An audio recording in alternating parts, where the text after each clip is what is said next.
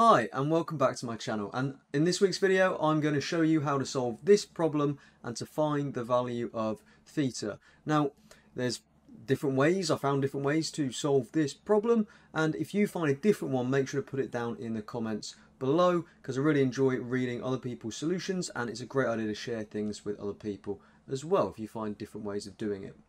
Right, now I'm going to start showing you my solution in three, two, one. Okay, so this is actually a relatively tricky problem, to be honest, and uh, the way that I and probably anybody else would start doing this problem is by working out this angle is 120 degrees here. Now after that, the next thing you probably notice is that this angle at the top uh, ABC is 80 minus theta because those top two have to be 80 degrees because if we look at the, the, the large triangle ABC, uh, 180 degrees in it, take away your 70 at A and your 30 at C, and you are left with 80. Right, now the next thing probably to work out is that this is 90 plus theta because it has to be because again 180 degrees in a triangle and now we're looking at BPC. And APB must be 150 minus theta because of the same reason. Now, after that, this is where probably the solutions for different people will differ. Um, because the, the way that I wanted to approach this problem is a way that I have been teaching this week in, in class to some of my students, and that is about the sine rule. And this sine rule is from the GCSE formula sheet. So this is exactly what it says, and it shows you the triangle as well unless they change it like they have done the past few years because of COVID and everything else, this is what it should look like.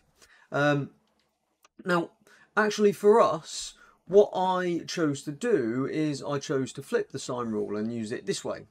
Uh, and that's just because I wanted to have sine theta on the top because I'm looking for theta so it makes sense to put the angle on the top and with the sine rule you can just flip all of the fractions like this and it still works because you know um, with equations essentially you're kind of rearranging them to look like this. It's it's nothing um, it's not it's not a different equation. It's just rearranged essentially. Now obviously as well we've got three uh, sections or three parts of this equation. We only really need two of those parts but they just put all three down there just to show that you can use any sides and it doesn't really matter sides and angles doesn't matter. They just have to be the opposite sides and angles. Now I'm gonna work out now well I have worked out all of the sine rule uh, equations from the different triangles in here. Uh, so they give me these. Now I'm aware that some of them have 150 minus theta in, they have 90 minus theta, 80 minus theta in them. That is a problem that I will, a bridge I will cross later on but it is a bridge that needs to be crossed and so we need to have an idea uh, at this point what we might need to do if a scenario like that were to arise. We've got 90 plus theta involved. How, how would we deal with that? Now the first thing I'm going to do here now is rearrange for sine theta because that's what we're working out. So I'm looking at the top equation here and I'm going to rearrange that to give me sine theta. I'm going to multiply um, those two, both sides of the top equation by AP, so then I end up with AP on the top. Okay.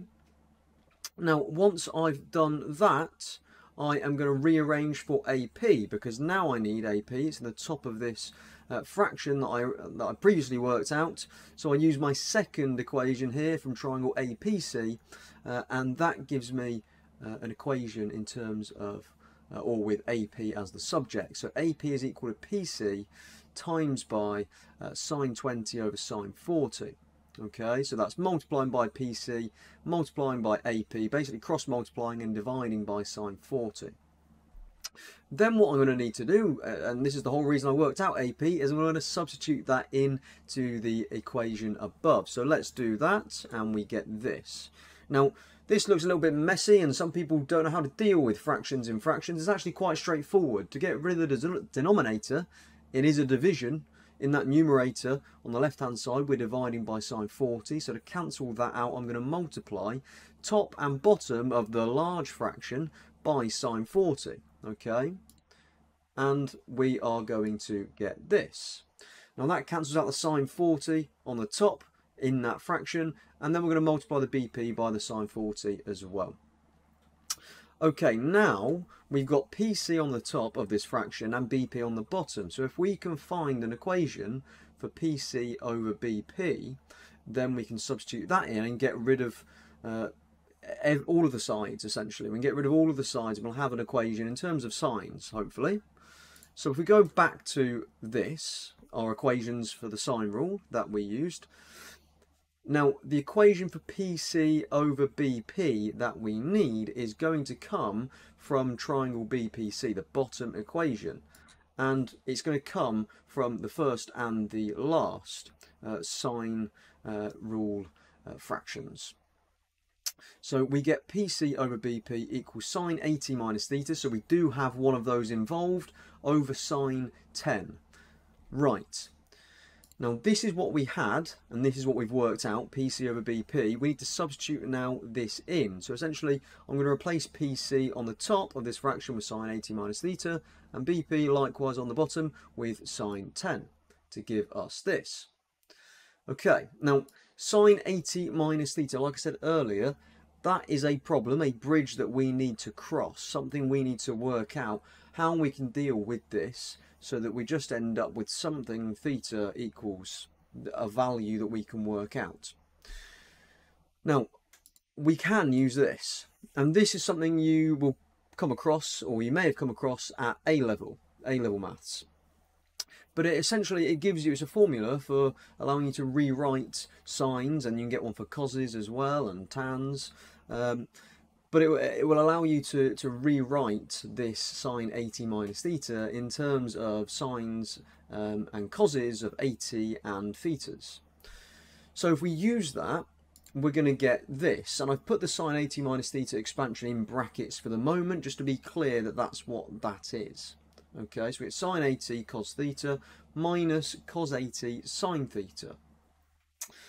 Right, now, the next thing to say is don't panic but we're going to expand it and we're going to get this, okay? So we've gone from that, we've expanded it, sine 20, sine 30, times sine 80 cos theta, and then times cos 80 sine theta, and we get this, okay? But like I said, don't panic, although it looks quite big and messy, it's going to be okay. And the reason I know it's going to be okay is because actually I've got a sine theta here, and then I've got a cos theta, and actually if I can collect my sine thetas, I should be able to factorize those out and then hopefully do something with my cos theta and it should all work out. And we're going to end up with, you know, a, an answer at the end which is going to involve sine 20, sine 30, sine 80, all of these sines, but it will be a number, so it should be fine. Right, now the next thing, which should be quite nice, is get rid of this fraction, okay?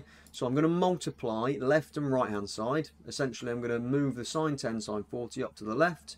I'm going to have sine theta, sine 10, sine 40 equals this numerator.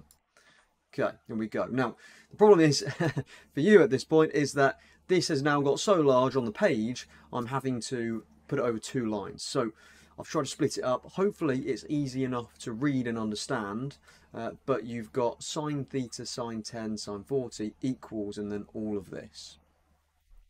Now, like I said earlier, uh, we have got two sine thetas. So if we can get those both onto the same side, both those terms, and factorise out the sine theta, that will be hopefully very useful. So let's get them onto the same side like this.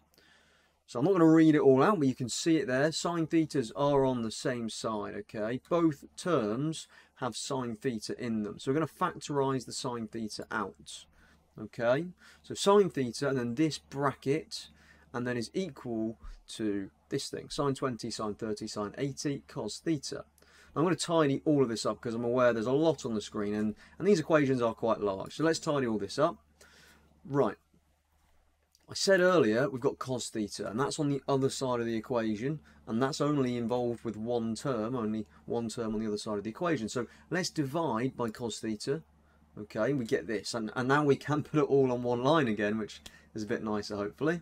So we get sine theta, and then the big bracket again over cos theta is sine 20, sine 30, sine 80. We're going to divide by that big bracket on the left-hand side, and we get this. Now, we're very close to being done, and hopefully you uh, know, and you know, if you don't know, sine theta over cos theta is equal to tan theta. Now, we have one equation with a value on the right hand side, a numerical value, and on the left hand side, a trig function of theta. So essentially all we need to do now and, and it's this decimal value so if you did any rounding earlier on or not rounding but worked out some of these values and did it uh, not with exact values but numerically you, you should end up with something very close to this or this hopefully should be this. Um, we're going to inverse tan now on the original and that will give us theta equals 50 degrees okay now it's, it's a really nice solution given that I've got all of these sines and coses in there.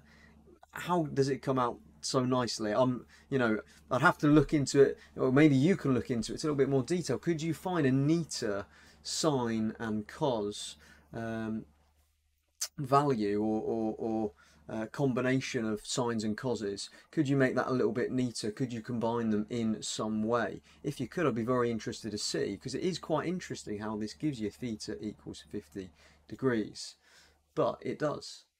Right, uh, like I say, I hope you enjoyed this video, um, and if you did, drop a like on the video, that really helps me out, and if you're not already subscribed to the channel, I, I upload a new problem each week with me going through the solution, and hopefully you can try it yourself and see if you can do it as well. Okay, have a great rest of your day, and I will see you next week for another video. Till then, bye-bye.